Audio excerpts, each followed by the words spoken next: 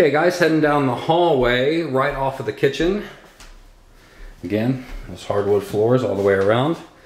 Linen closet right here. Here you've got your laundry area. Brand new tile floor, and this is the same flooring that you're gonna see in the bathrooms as well. New cabinets, 220 for your dryer, hot and cold hookups right there. Plenty of space. And coming around, down the hallway off to the left, we've got our first guest bathroom. Brand new vanity, brand new countertops, mirror, stand-up shower. All been professionally redone by the seller. Then we come into our first small bedroom back here. And even for a subordinate bedroom, you got the bay window right there. Even for the subordinate bedroom, this bedroom has a ton of space. I believe the measurement on this is 12 by 13, which is bigger than a lot of master bedrooms out there.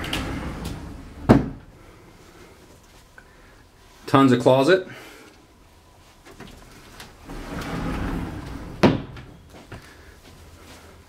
Let's head back up this way and take a look at the garage before we head upstairs.